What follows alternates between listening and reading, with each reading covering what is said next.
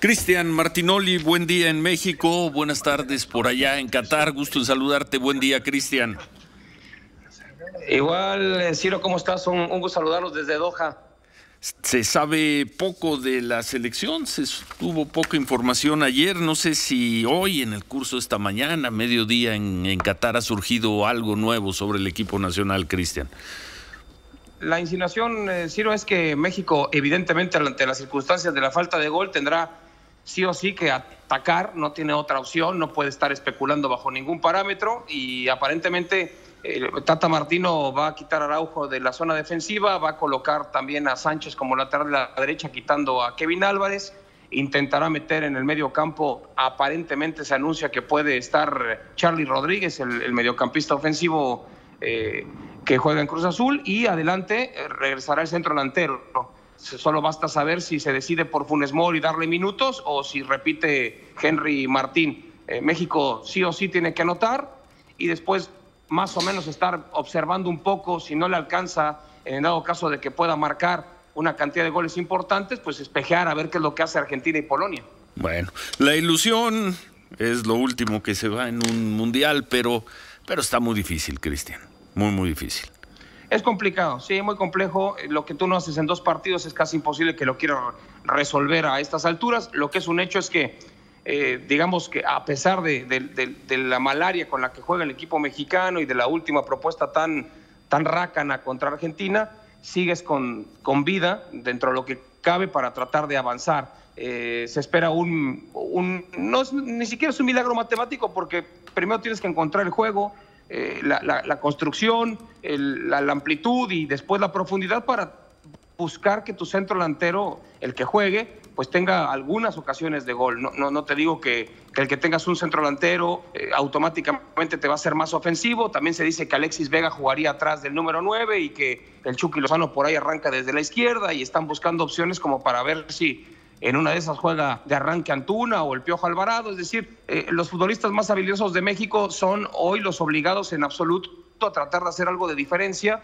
en un torneo que ha sido gris, eh, escaso de emociones para la afición mexicana y que hoy pues todavía te entrega una ínfima oportunidad de poder avanzar a la siguiente fase. A pesar de todo ello, México tiene todavía el destino propio si golea. En dado caso de no hacerlo, puede tener varias opciones en donde México sí o sí tiene que ganar el partido y esperar a que Polonia le gane a Argentina. La otra es que México gane por un par de goles y que de pronto haya un empate o porque gane por tres goles y que haya un empate entre Argentina y Polonia para echar a, los polacos y, para echar a Argentina. Y, es así, o sea, el tema es este. Eh, México depende de sí mismo, pero me parece que vamos a estar eh, observando constantemente más el otro juego para ver si Polonia le echa la mano al equipo mexicano.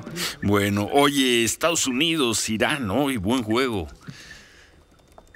Es un buen partido, con un se, ha calentado ligeramente. La Federación de Irán pidió que se desafiliara básicamente a los Estados Unidos porque quitaron el símbolo de Alá de la bandera eh, es un código de ética que tiene FIFA con los participantes de este, de este campeonato en donde está prohibido que cualquier federación en sus redes sociales o en cuestiones oficiales, eh, digamos, distorsione símbolos patrios de otra nación participante. Y en este caso, Estados Unidos dice que lo hizo por el tema de una protesta con base en la situación que se está viviendo en Irán eh, después de, las, de las, digamos, de las protestas que han existido por el tema de la mujer que ha fallecido. Sí, sí, sí, pero ahí quedará impensable que se tome una decisión en contra del equipo de Estados Unidos, y menos para el partido de hoy.